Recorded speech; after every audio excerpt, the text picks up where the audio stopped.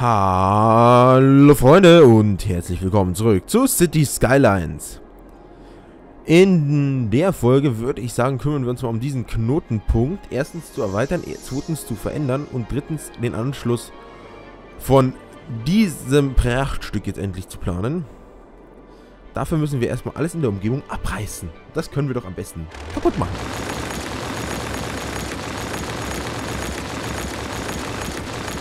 Weiter mit alles abreißen.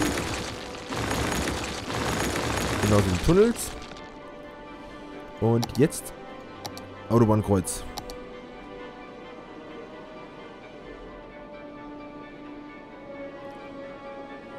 Äh, kann man das ein bisschen drehen? So. Wenn ich jetzt wüsste, welche in welche Richtung geht, dann wäre das praktisch. So ungefähr, würde ich mal sagen. Äh, gucken wir kurz mal in den Tunnel rein. Wie es da unten ausschaut. Das wäre nicht schlau zu wissen. Ja, ich habe doch relativ gut getroffen. Nein, nicht ausbauen. Abriss. So, und jetzt hat, kann man nämlich dann hier sagen... Wir können hier die normale Autobahn nehmen.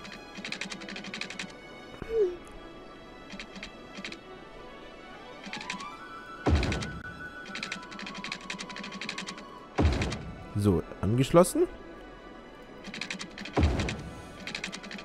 Angeschlossen und auch angeschlossen.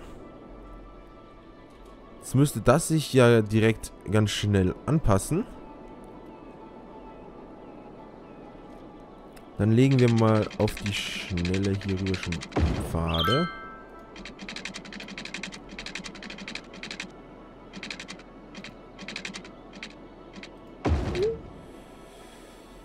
So. Und was mir gerade auffällt, dass wir die da falsch rumgebaut haben, ne? Ne, passt schon. Dann würde ich sagen, reißen wir wieder nach oben bitte die Anschlüsse mal ab. Allgemein die komplette Straße hier muss weg. Die gibt jetzt keinen Sinn mehr. Wir gehen hier von der Vorlane dann auf die Freelane hier vorne.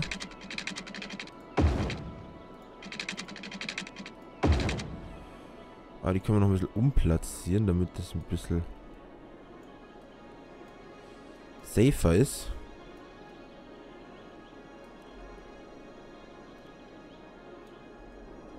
So. Schaut doch schon ganz gut aus. Tun wir hier noch ein bisschen rumbasteln, so dass das besser ausschaut. Ja, kann man hier auch wieder unterirdisch gehen, indem ich hier so mache.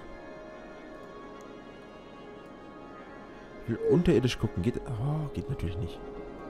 Ah doch, hier, guck mal, Tunnelblick. Ich würde den hier so ein bisschen nach draußen verschieben. So, ja. Schaut doch schon dementsprechend aus. Perfekt. Dann ist jetzt der Anschluss hier dran, weil natürlich dadurch... Oder sich hier das auf... Was ist denn jetzt los? Ah, der staut sich gerade, weil die so ein bisschen einfädeln wollen.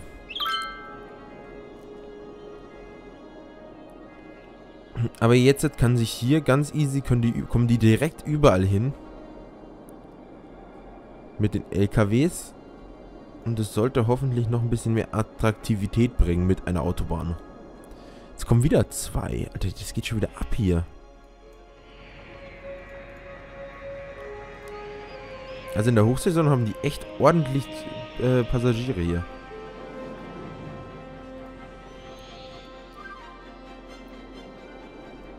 Hier auch wieder die ganzen LKWs, die rein und raus rauschen. Und dann geht halt wieder ein Großteil hier hinter, stellt sich an und zack, geht's weiter. Aber um was wir uns dieses Mal kümmern, auch kümmern, ist um unseren schönen Park hier oben. Denn immerhin haben wir ja letztes Mal hier die Plattformen bekommen. Ich würde jetzt erstmal eine hier hinsetzen. Dann eine hier noch hier hin. Ein Zeltplatz. Jetzt gibt es den schon direkt aus der Dose, oder was? Dann würde ich doch hier unten noch ein, zwei Zeltplätze hinsetzen.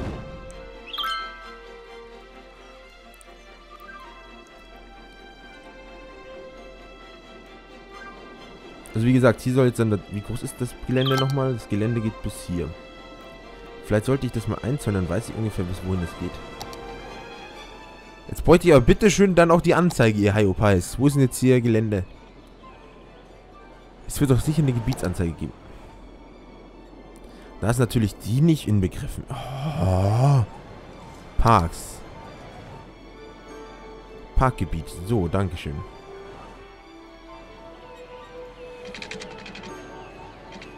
Dann kann ich nämlich das jetzt abstecken und dann weiß ich, wie groß das aktuell ist.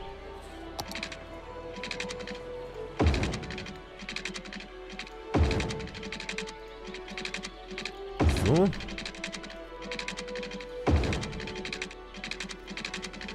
Immerhin, glaube ich, gilt es ja nicht, wenn es außerhalb des Parkgebiets gebaut wird. Bedeutet wäre scheiße, wenn wir nicht wissen, wie weit wir gerade bauen.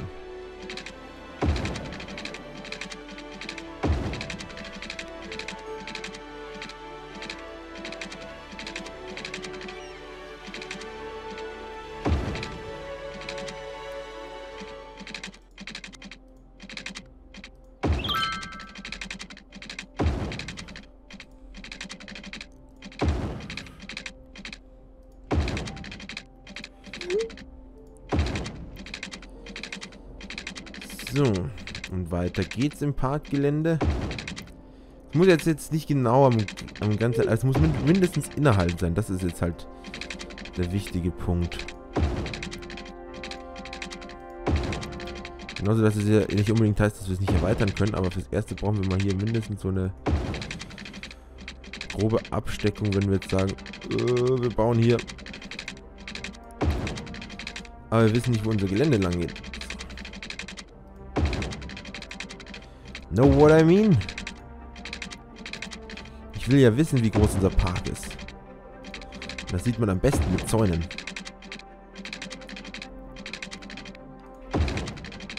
So. Bisschen weiter innen. Außerdem, vielleicht bringt ja sowas auch so ein bisschen Attraktivität, wenn es sozusagen abgeschottetes so ein kleines abgeschottetes System ist. Gleich mag das das Spiel auch. Wenn du sozusagen deine Ordnung hältst in deinem Parkbau. Ich habe bis jetzt eigentlich immer meine Parks abgeschottet gebaut. Entfernung zu gering. Jetzt müssen wir wahrscheinlich von da drüben weiterbauen. So, und eingezäunt ist. Jetzt haben wir hier außenrum diesen niedlichen Holzzaun. Ah, jetzt sehen wir halt haargenau, wo der lang läuft. Hier läuft der Zaun lang. Und so weit können wir auch dementsprechend bauen. Weil ich würde hier vorne gerne noch was bauen. Und zwar hier so eine Straße hinsetzen. Und dann wieder so eine Aussichtsplattform dran stellen. So. Perfekt. So, und dann müssen wir jetzt den Anschluss machen. Dann kann doch hier bestimmt auch nochmal so eine Aussichtsplattform hin.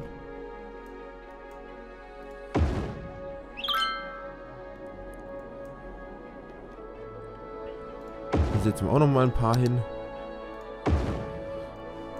Das macht das Ganze ja noch sehr äh, viel attraktiver, denke ich mal. So, und ah, ich drücke immer irgendwo hin, weil ich denke Straßenbau. Mhm, muss ich da hin. Aber nee, nee, nee, das muss ja gar nicht sein tun jetzt hier so ein paar Straßen hinsetzen. Das, da sollen jetzt die Zeltgebiete und alles wieder reinkommen.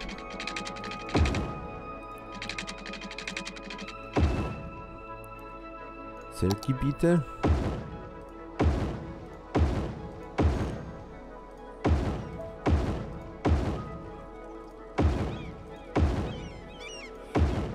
Also jetzt auch nicht unbedingt so enges... Upsala, das war jetzt eigentlich nicht geplant. Und jetzt nicht so eng gestackert. Jetzt kann man jetzt zum Beispiel hier noch so ein paar Lager... Dieses... Ich kann es auch außerhalb setzen. Schafft echt, dass ich mich hier komplett daneben baue. So. Hier kommt auch noch einer hin.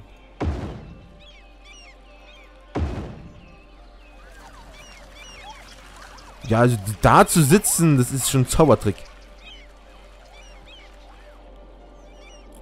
Ah, das ist so die Zeltfläche, wenn du wirklich im Park zelten willst, kommst du hier hin. Ist halt dementsprechend aussehen. Kann man das abgleichen? Also geländemäßig. So ein bisschen angleichen. Das war jetzt nicht mein Plan. Mein Plan war eigentlich abgleichen hier so.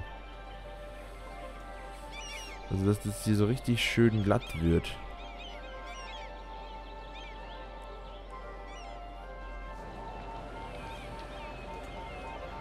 Mach noch ein bisschen stärker.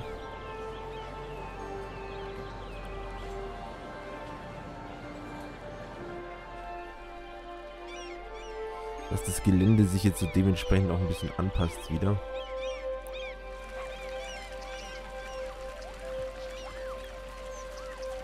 So. Ja. Schon einiges besser.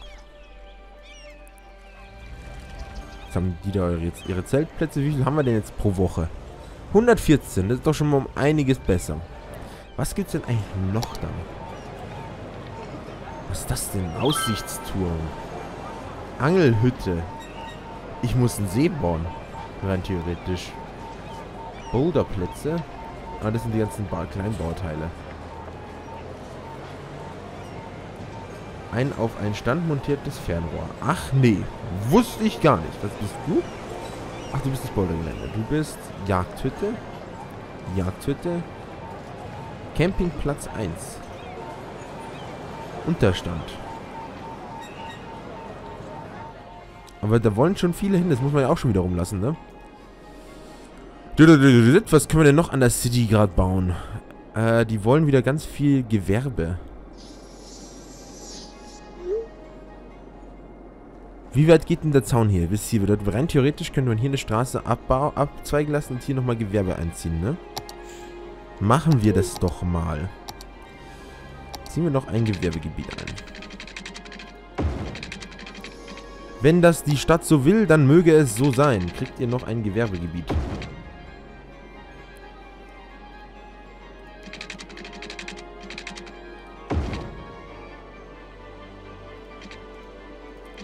Ein Gewerbegebiet zu meinen Füßen.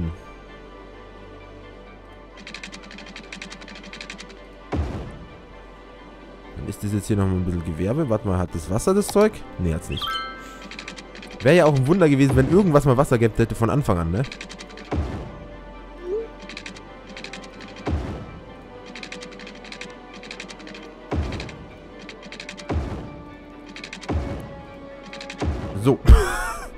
Wenn wir ausbannen, haben wir schon mal Wasser.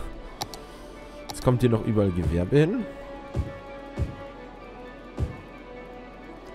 Sie haben nach Gelehr Gewerbe verlangt. Sie kriegen es. Um nur 9,99. So, hier kommt auch noch ein bisschen Gewerbe hin. So. Rein theoretisch müsste sich das dann darüber direkt mit Strom verbinden. Schauen wir mal, wie sich es schnell ausweitet, um zu sehen, ob sich das das bringt oder nicht. Hoffe ich mal. Aber rein theoretisch darf da nicht schief laufen. Äh, ich sehe schon, da ist eine Ampel wieder gebaut worden. Ich sehe es am Verkehr, der passt nicht.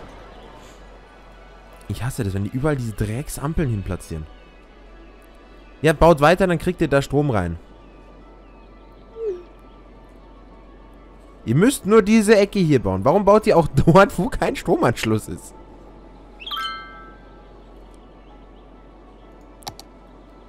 Nein, ich gebe euch keinen Strom. Nein, da bin ich strikt dagegen. Da ist man mit Kleinkindern, die müssen das lernen. Was ich schlimm finde halt, dass dieses System hier.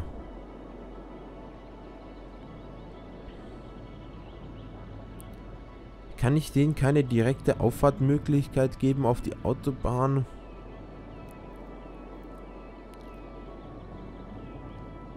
Das wäre, glaube ich, prima.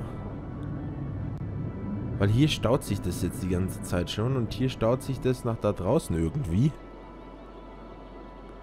Frag mich nicht allerdings, wie das geht, dass sich das staut. Ah, guck mal, jetzt haben wir die Unterstände auch schon. Nice. Ich würde mal sagen, wir tun das hier auf eine Zweispur. Jetzt klingelt das. Warum klingelt das jetzt? So, dann tun wir hier noch ausbauen. Ja, das passt. Und da ich mal denke, dass die meisten nach hier wollen, tun wir auch gleich mal die Seite ausbauen. Sollte das doch jetzt um einiges an Geschwindigkeit erhöhen, oder? Ah, nein. Uff. Guck an, das dürften die zum Beispiel gar nicht. Hier so hin. Ja, perfekt. Und jetzt, sagen wir den hier noch, dass die Richtungspfeile für diese Spur können nicht geändert werden, weil die Spur von Hand verbunden ist. Oh. Was habe ich denn schon wieder mit Hand verbunden?